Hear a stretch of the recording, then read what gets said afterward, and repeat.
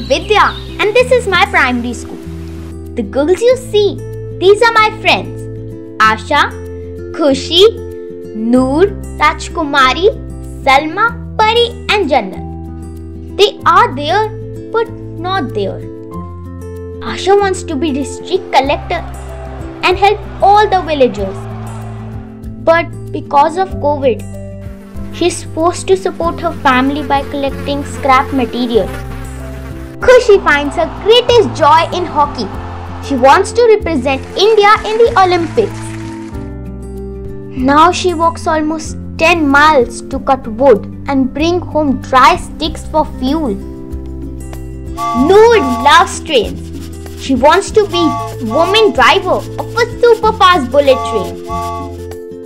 Sadly, she ran from one hospital to another, but her parents passed away due to COVID. Now she takes care of her younger brother. Poor Noor.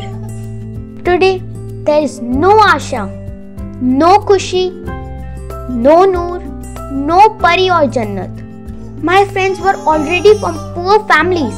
COVID has made it worse. The parents move from one place to another searching for any job. So the girls have to give up school. There is no money to buy a smartphone to attend online classes. 10 million more girls have dropped out. Educate Girls is striving hard to send such girls back to school. Join their efforts to make education accessible for these girls.